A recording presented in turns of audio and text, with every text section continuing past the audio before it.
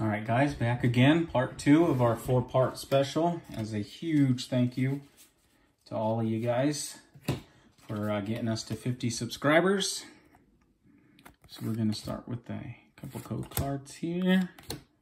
Oh, hope you guys see all of those. Um, as I said last time, we're going to do these 10 packs at a time. We started with 40. We opened up the first 10, we did get a rainbow rare. If you're curious which rainbow rare we get, I would invite you to to go back and look at uh look at my channel. The previous one is on there. Six, seven, eight, nine, ten. If you were curious what rainbow rare we pulled, it was Fast and Furious coming at us. So we did Sword and Shield base set. So tonight we're going to jump into Darkness Ablaze. And again, guys, thank you so much.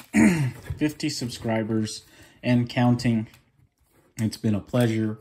Um, it started out just being a fun thing, and I'm still very new to this, so I don't want to get carried away, but I've got to say, that's just, it feels great. It's humbling, it's cool, I'm enjoying the heck out of it, so hope you guys are having a good time with it, too. And let's see where we can take this thing, huh? All right, was it the first pack magic that we, uh, we got our rainbow rare in the last set? Let's see if we can double that. So we marked off the list of getting a rainbow in Sword and Shield, but we still haven't pulled a rainbow in Darkness Ablaze yet. So let's see if we can't turn that around. All right, so get these organized. We're still on the hunt too. I've seen there's lots of social media posts and other videos on YouTube of the Hidden Fates boxes coming back in Walmart. And I know it's probably region specific and they're not going to hit everywhere at the same time. But what I've, uh, I've, I've gone to any and every Walmart within, you know, 30, 40 miles of the house. Vikavolt V. Beautiful. That's a great start, huh? Centering off a bit. I forget if we have this. Did we pull that? No, I, I, pulled a couple off screen last week, and I think it was Toxtricity V. So I think that's a new one that we can add. Very nice. Um, but as I was saying, I've gone to you know every Walmart within the metro area, and I'm not seeing them anywhere. Usually, if, if they get released, there's been times you walk in and there's one box left. So maybe it's just something where in the, in the coming weeks, I just I know they were planning a reprint of the Hidden Fates here in September now, so I wanted to hopefully get a jump on those before, uh, what is it called? Champions Path? Something like that. What is that new one coming out on September 25th? Because uh, I know that's going to be the hot commodity. Um, if it's anything like Dragon Majesty, those cards show up and then they disappear. I haven't been able to find very nice. Many uh, Dragon Majesty packs. I've only ever pulled the one. It did uh, get us a full art Blaine's card, Blaine's Last Stand, which was amazing. And it actually came in like a three pack bundle from Target, one of those, you know, aftermarket ones, which when we went into Target to get these for our four episode special, I actually didn't see these. There was one row of them and I snagged everything they had left. It happened to be 20 packs. Um, it was kind of back in the corner, you know, Target stages their Pokemon cards in a few areas. I love it because you kind of just go on a hunt. But if we hadn't found those, what I have found is they started their, their third market packs again, where uh, you get three holo, or three packs, and let me just adjust this a little. You get three packs, and then a uh, bonus holo card for $10.99, which isn't too bad a deal. And then if you, you know, kind of shake the cardboard pack around, you can kind of see what's in there. And um, it looks like Team Up has been added.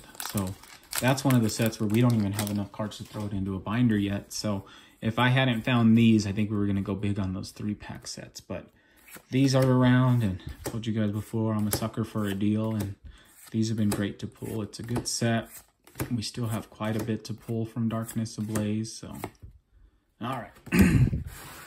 See if we can't turn this around here. Although that Galarian Darmanitan might be a new one. I know there's still some regular rares that I don't have in that in Darkness Ablaze. I mean, it's kind of shocking considering how many we've pulled, but let's say that kickoff four-part episode was great. I'm hoping to find a way to keep this going. So, all right, we've cooled off a bit.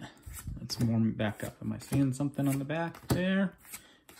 Let's see what we got. Starly, Ariados, Centiskorch V. There we go. We've pulled two V Max Centiskorch. I think one off screen, but definitely one on screen. And then recently we pulled the Centiskorch V. So that's a great card. Um, I actually like using it in Sword and Shield. I actually like and enjoy playing the games on the Switch. Um, Big Shiny Hunter.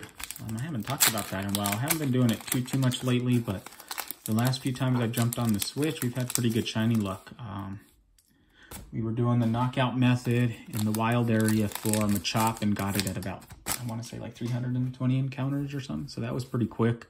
Followed that up the next day and got uh, Shiny Growlithe via Masuda method in, I want to say maybe 120 eggs or something. So it was kind of just one of those where for anybody shiny hunting, you kind of get in the groove and you're doing, you know, other things, watching a movie or something because it's repetitive, doesn't take a lot of brain power. And it kind of surprised me that it came that quick. So I don't know what to do next. If any of you guys are shiny hunters and Sword and Shield, give me an idea. I have quite a few on there. Before that, we got Shellder. We were trying to do a lot of the first gen, not got a lot of first gen. And then on Sor, um, Sun and Moon, Ultra, Ultra Sun, Ultra Moon.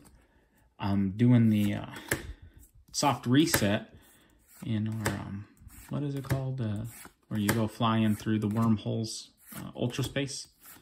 And we've been trying to go for uh, Pheromosa for quite a while. It's, it's off and on, but I've got to be six, 700 soft resets in. So you know, might jump into that again. Those are easy. That's just something where you can usually be playing the Switch and hitting that at the same time just because the soft resets aren't too bad, especially if you hook up, uh, or I uh, usually wrap a rubber band right around the uh, left and right keys on top of the um, 3DS, and it makes resetting really easy. So you can knock out, I think I timed it, you can knock out almost three full soft resets in a minute. So you can really get through them quick. But for some reason, I just haven't been able to get that one shiny.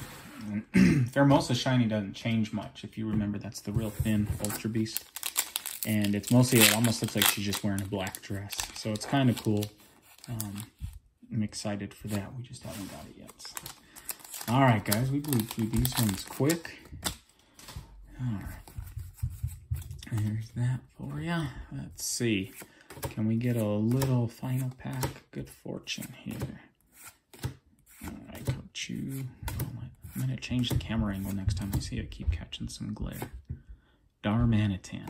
Alright, guys. Well, thank you so much. Wasn't quite as exciting as our kickoff, but again, 50 subscribers in counting, guys, and a couple more good pools. So if you've enjoyed this, I would invite you to uh, always hit the like button uh, consider subscribing. If, and it's probably a far way off, if we do get to uh, 100 subscribers, I'm thinking of doing a giveaway with a bunch of code cards where we would communicate via Twitter or something, and I'd snap a screenshot with 910 code cards and send them directly to you guys. So, you know, it'd be kind of fun. I know that's kind of what interests you guys. So keep an eye out. Let's keep it rolling. And thanks, guys. See ya.